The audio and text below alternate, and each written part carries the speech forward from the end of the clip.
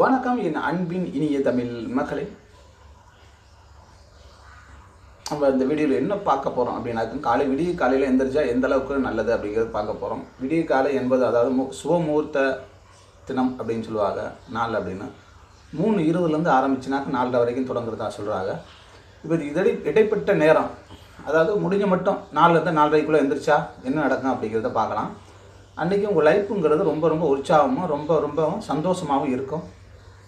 இதில் எந்த ஒரு மாற்று கருத்தும் இல்லை. இதுக்காண்டி பல உதாரணத்தை சொல்லலாம். இப்போ மிருகங்கள் எடுத்துக்குவோம் காக்கை குருவிகள் எடுத்துக்குவோம். இயற்கையான எல்லா விஷயங்களும் வந்து நாலுலேருந்து நாலரைக்குள்ள எந்திரிச்சிடும் அதனால தான் அதுக்கு லைஃப் அன்னைக்கு ஃபுல்லாக சந்தோஷமாக இருக்குது மற்ற எதை பற்றி எந்த இதுவும் கிடையாது.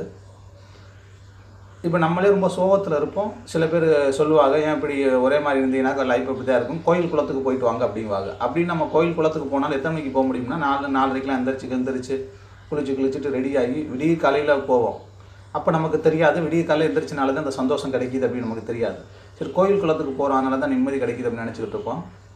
ஆனாக்க காலையில் விடிய காலையில் எந்திரிச்சு போகிறவங்களுக்கு கிடைக்கிற நிம்மதி அப்புறம் மற்ற வெயில் நேரம் அவங்களுக்கு போகிறவருக்கு ஒரு சந்தோஷம் கிடைக்காது அப்படிங்கிறத நம்ம க கவனத்தில் எடுத்துக்கணும். அதனால தான் மார்கழி அப்படின்னு வந்துட்டாலே விடிய காலையில் ஏன் சொல்கிறாங்க அப்படின்னாக்கா விடிய காலையில் எந்திரிச்சு எந்திரிச்சு எந்திரிச்சு குளிச்சு குளிச்சு அஞ்சு அஞ்சரைக்கெலாம் நம்ம வந்து கோயிலுக்கு போயிடுவோம். அஞ்சு மணிக்கெலாம் கோயிலுக்கு போயிட்டு சாமியை வந்து தரிசனம் பண்ண ஆரம்பிச்சிரும் இது ஒரு பழக்க வழக்கத்தை கொண்டு வந்தாங்க. இது மாத்திரம் இல்லாமல் நம்ம முஸ்லீம் நண்பர்கள் இருக்காங்க. அவள் பார்த்தீங்கன்னாக்கா வாங்க ஊற்றுறது பார்த்தாக்கா மூணு நாலு நாலரை மூன்று மூன்று இந்த மாதிரி நேரங்களில் வாங்க. விடிய எழுந்திரிச்சு எந்திரிச்சு தொழுக போயிடும் என்ன காரணம் அதனால தான் அவங்க லைஃப்பும் சரி ஒரு இதாக இருக்குது ஆனால் நம்ம என்ன பண்ணுறோம் ஒவ்வொரு இதுவும் பிரித்து வச்சுருக்கோம். அது கிடையாது. எல்லா மனுஷனும் பொதுவாகவே எல்லா மனுஷனும் இந்த உலகத்தில் உள்ள எல்லா மனுஷனும் விடிய காலையில் எந்திரிச்சிங்கன்னா அன்றைக்கி உங்கள் லைஃப் ரொம்ப ரொம்ப ரொம்ப ரொம்ப ரொம்ப சந்தோஷமாக இருக்கும். என்ன காரணம் அப்படின்னாக்கும் அந்த நேரம்தான் வந்து இறைவன் சொல்லப்படுகிறவர் அவர் எந்திரிக்கக்கூடிய நேரம் எந்திரிச்ச உடனே முதல் பார்வை பார்ப்பார். யார் யார் எந்திரிச்சிருக்கா வச்சிருக்கா அப்படிங்கும்போது அவர் அருள் பார்வை கிடைக்கும். அது மாத்திரமல்ல இயற்கை வந்து புத்துணர்ச்சி. இயற்கையும் எந்திரிக்கிற நேரம் அதான் இயற்கையோட இது. ஒன்று கடவுள் மேல் நமக்கு நம்பிக்கை இருக்கும். சரி கடவுள் மேலாம் எனக்கு நம்பிக்கை இல்லை அப்படிங்கும்போது கண்டிப்பாக இயற்கை மேல் நம்பிக்கை இருக்கும்.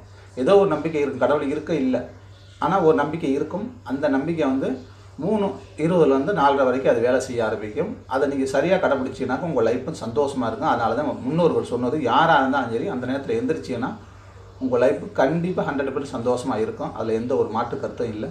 நண்பர்களே நன்றி வணக்கம். அடுத்த ஒரு வீடியோவில் பார்க்கலாம். இணைந்தே பயணிக்கலாம்.